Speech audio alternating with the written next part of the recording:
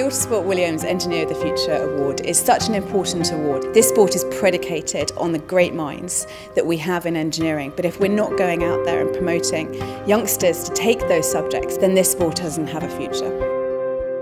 At Williams, we're really looking to the future and we're looking to the future generation to take over and to lead our engineering expertise. This competition finds those leaders. The Autosport Williams Engineer of the Future programme gives people the opportunity to spend two years in our organisation being mentored by some of our very best engineers and it provides them the opportunity to hopefully one day be our future technical director. We take them beyond where they'll feel comfortable to levels of knowledge that we don't even expect them to really have, but we want to see the process by which they arrive at their answers.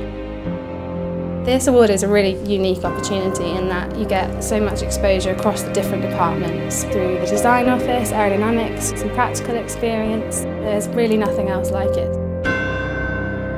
I'm looking for the candidate's ability to tackle a wide range of situations and come out as a de facto leader. I think engineering talent is uh, critical to Williams. It's actually no exaggeration to say it's life and death. Safety is involved, but also the company.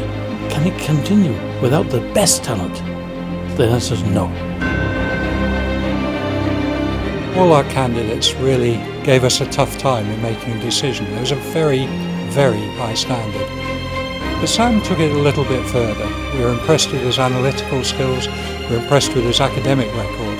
We think he is an engineer for the future.